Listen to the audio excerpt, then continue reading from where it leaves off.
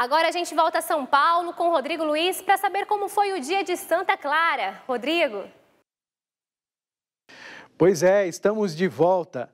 E nesse dia de Santa Clara, nossa equipe mostra a devoção e a festa em uma paróquia e em um bairro dedicados a ela aqui em São Paulo. Na entrada da paróquia de Santa Clara, em São Paulo, na Vila Santa Clara, a imagem da fundadora das Clarissas na porta, com um ostensório na mão, tem um significado especial. O dia em que a santa expulsou com sua fé sarracenos invasores da porta do convento em que vivia. E ela, com muita fé, com muito amor, com o Santíssimo nas mãos, rezando e pedindo e implorando e aquele exército foi embora, deixou a cidade. A fé em Santa Clara fez seu João passar por um dos momentos mais difíceis de sua vida. Há mais de 20 anos, ele foi submetido a uma cirurgia cardíaca. Teve complicações, mas foi curado. Quando eu fui fazer uma cirurgia do coração, e eu tinha muito, muito medo.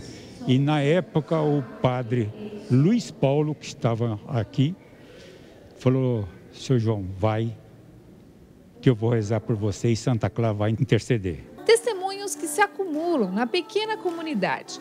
No altar da paróquia, a imagem inspira Santa Clara ao lado de São Francisco. Foi com o santo que ela aprendeu a simplicidade da fé. Ela passou muita dificuldade e ela venceu, né? Com, com o Espírito de Deus, né? E com a ajuda de São Francisco, ela, ela foi uma, uma pessoa muito boa e ajudava os pobres também, né? Inspirada nessa humildade de São Francisco de Assis, Santa Clara também realizava uma simples oração que curava os doentes.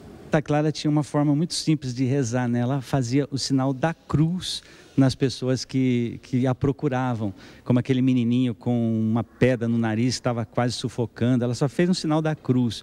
Nós vamos aprender muito isso com Santa Clara, sermos pessoas simples, que não, precis, não precisamos de muita coisa, basta essa fé em Cristo Jesus e este amor pelas pessoas e, e pela criação de Deus.